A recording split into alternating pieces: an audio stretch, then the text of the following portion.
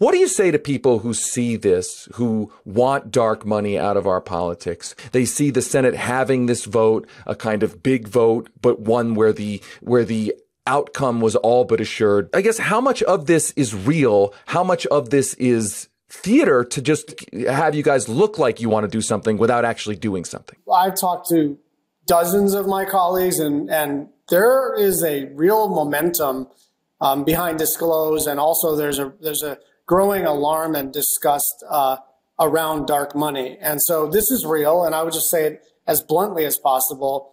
If we have two more United States senators, um, uh, like Mandela Barnes and John Fetterman or Cheri Beasley and Val Demings, um, then we will um, we'll be able to pass disclose and deal with dark money.